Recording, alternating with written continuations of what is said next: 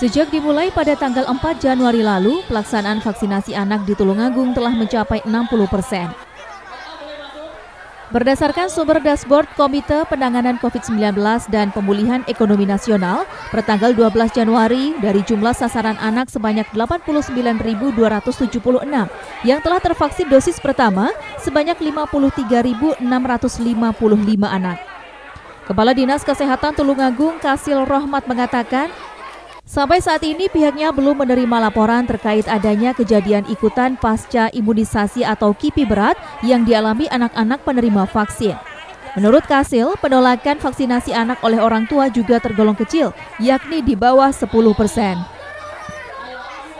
Pihaknya mentargetkan vaksinasi terhadap sasaran anak usia 6-11 tahun di Tulungagung akan terselesaikan dalam pekan ini.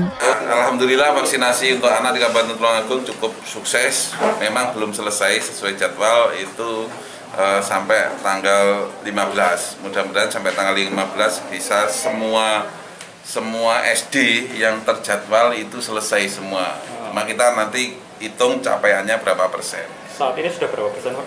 Saat ini sudah sekitar 60 sekian persen. Kendalanya apa Pak untuk vaksinasi anak ini Pak? Kendalanya ya biasa karena ini kan belum masanya anak masuk sekolah.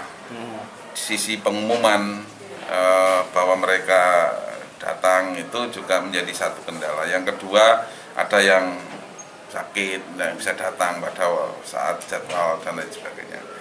Sementara itu berdasar data dashboard KPC PEN, secara keseluruhan capaian vaksinasi di Tulungagung untuk dosis 1 sebesar 80,86 persen dan dosis 2 sebesar 56,29 persen.